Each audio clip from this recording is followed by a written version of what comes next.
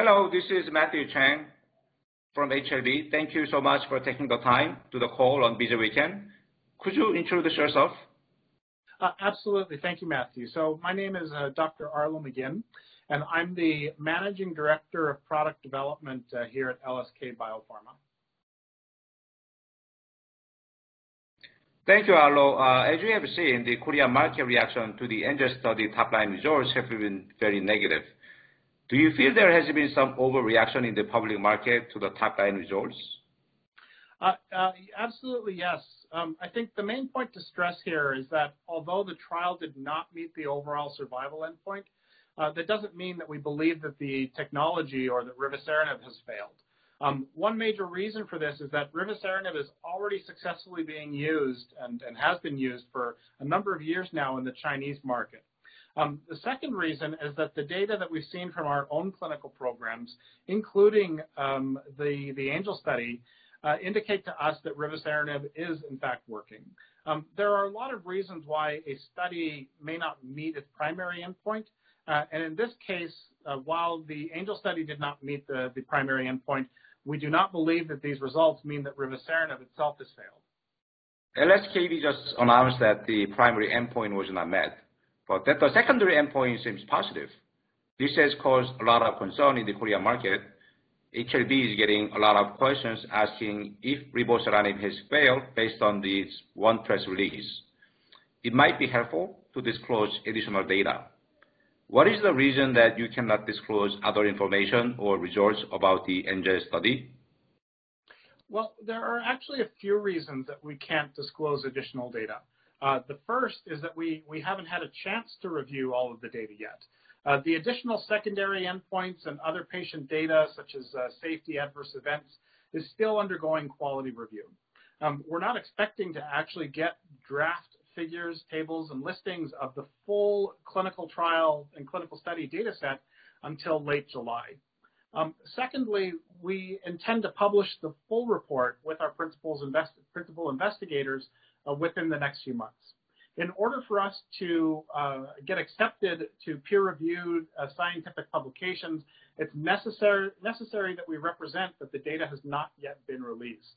Um, finally, because the overall survival presented some surprising data, uh, it's necessary, us, necessary for us to internally study the data, data, perform quality control, and come up with a plan for what we need to do in order to file an NDA in the gastric cancer monotherapy indication. So why did you have the press release that ANGEL study did not meet the primary endpoint? Well, we, we had the press release early because a, a, lot of people have been waiting to see if we met the overall survival and progression-free survival endpoints. Uh, if we had met the overall survival endpoint, people will generally know and understand that there's a good chance that we can file the uh, NDA in the United States later this year. Um, so we asked the statisticians to give us the, the data for overall survival and progression-free survival first and very quickly. Um, this is the first data that we received, and we, we need to be discussing this data with potential partners and, and investors.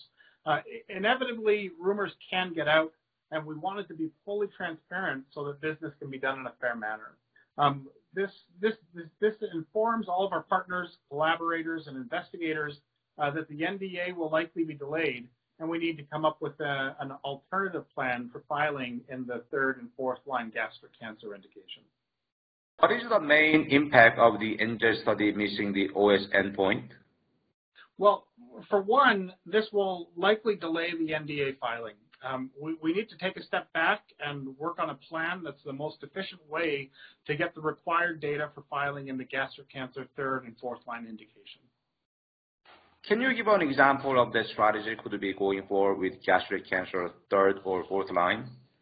Uh, absolutely. Well, one option for a strategy would be to leverage the positive data that we do see in the ANGEL study and conduct, conduct a confirmatory study. Um, I believe this could be a smaller, faster clinical study. Um, but we'll be working internally in the coming weeks to develop the full plan for this uh, possible confirmatory study.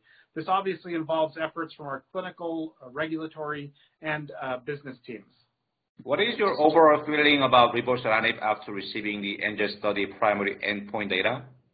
Well, we still believe that rivoceranib is an active cancer drug. Um, the vast body of data that uh, we've acquired and that we've seen from Hengrui's development in China indicates that this is still true. Um, because there's positive signals in the ANGEL study, I believe that the issue with the overall survival that we've seen here is, is actually related to the changing way that gastric cancer is being treated. Um, even over the short period of time the, where the, uh, when the ANGEL study was performed, the standards of uh, care for gastric cancer have changed significantly. Um, we, we still believe the ANGEL study was designed correctly, but considering these changes in gastric cancer treatment, the ANGEL study did not, uh, unfortunately, fully provide the data necessary to file for approval. Um, I believe we will get a lot of good data out of the ANGEL study, and that this will help us uh, identify a path forward so that we can file an NDA in the third and fourth line gastric cancer indication. Um, we also feel that the ANGEL study data will be extremely helpful and will inform us on uh, designing pivotal studies in our other indications, such as second-line gastric cancer and colorectal cancer as well. Um, we're disappointed that the study missed the primary endpoint and did not provide the data that we need to file for approval based on a single study at this time. But the biggest challenge that this is going to create for LSK uh, Biopharma is that it delays when we will be able to file for our first market approval outside of China. Um, we're still extremely thankful for the uh, patients and for the investigators who supported the study and uh, made it uh, made it possible. Thanks very much, Arlo. Have a nice weekend. Uh, thank you as uh, thank you as well, Matthew.